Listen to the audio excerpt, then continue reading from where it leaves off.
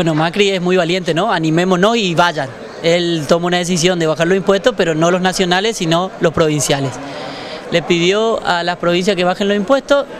Nosotros de Formosa le contestamos que hace muchos, muchos años la provincia de Formosa no cobra un solo impuesto a lo que es tarifa de energía eléctrica. ¿Qué esfuerzo debería hacer la provincia? Digo, reiterar esto, si no cobra nada no podría hacer ningún esfuerzo, el esfuerzo está hecho hace mucho.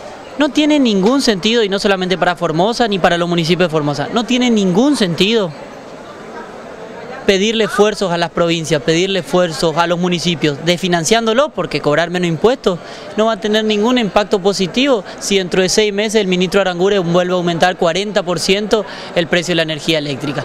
Vamos a desfinanciar la provincia, vamos a dejar de recaudar plata que sirve para la educación, para la salud, para la seguridad, para la iluminación, para la obra pública, y resulta que dentro de seis meses ya el ministro Aranguren anunció un nuevo aumento del 40% en el precio de la energía mayorista. Entonces, ponele los casos de la otra provincia donde se haya impuestos provinciales, de 2.000 mil pesos, cuando bajen los impuestos provinciales va a pasar a 1.900 una factura.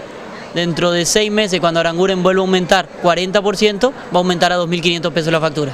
La provincia dejó de recaudar, tiene menos dinero para llevar adelante los programas provinciales y resulta que la luz igual aumenta, los vecinos pagan mucho más caro porque es una decisión nacional el tarifazo defendido por el propio Mauricio Macri. Pero repito, en Formosa hace muchísimos años que la provincia no cobra ningún tipo de impuestos provinciales a la energía eléctrica.